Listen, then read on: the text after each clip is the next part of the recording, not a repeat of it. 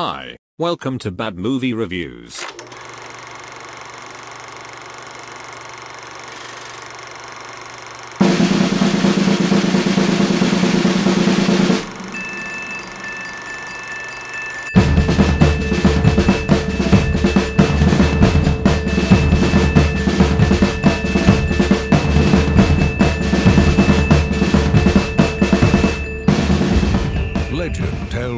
Of a lost species, a link between man and beast.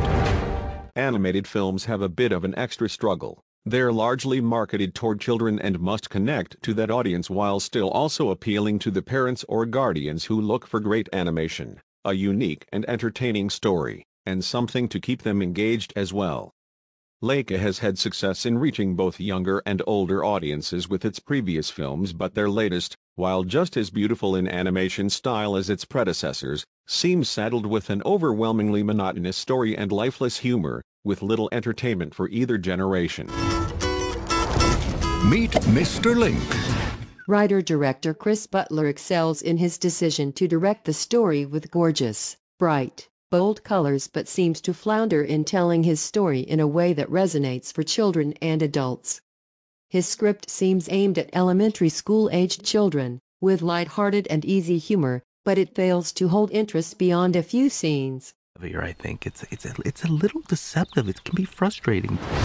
As a parent, my problem with this kind of writing style is that it sacrifices story and entertainment by forgetting that children, especially modern children, are intelligent enough to grasp more complete narratives. They can sit through a film that is witty enough to amuse adults just as much as it does kids.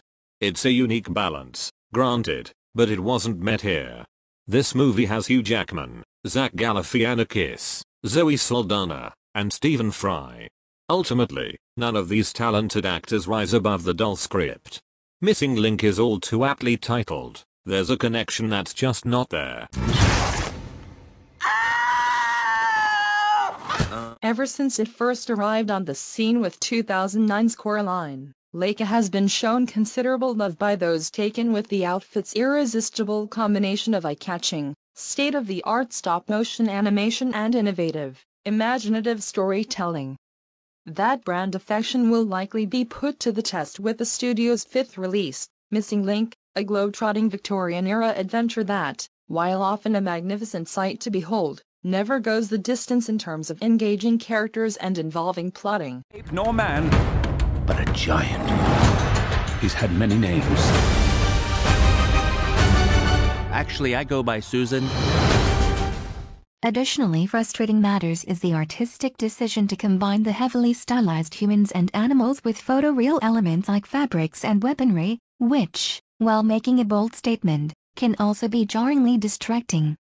The end result, especially coming after 2016's highly rewarding Kubo and the Two Strings, can't help but feel like a letdown. Kind. But on the other side of the world, they talk of this creature, the Yeti. I think these Yetis are my cousins. Missing Link is a journey of self-acceptance that feels like a dictated lesson learned rather than a poignant one earned, one which mechanically travels from point to point without ever building emotionally. Problematic too, is a dryly British comedic sense that finds Mr. Link sharing with Paddington Bear a very literal leaning sense of humor that can make following simple instructions at times calamitous. But there's a hit and miss quality to the antics here that often land with a thud. Profile. Um. A monster! One wishes the script might have shared the degree of precision that has obviously been applied to the technical side of the production, which is resplendent in visual dazzle. Incorporating a new color 3D printing technology allowing for the creation of complete individual animated facial performances, the production exhibits intriguing possibilities despite a few glaringly CG patches, especially when depicted in close-up. But while the energetic cast gamely play their parts, Missing Link ultimately fails to make a credible connection.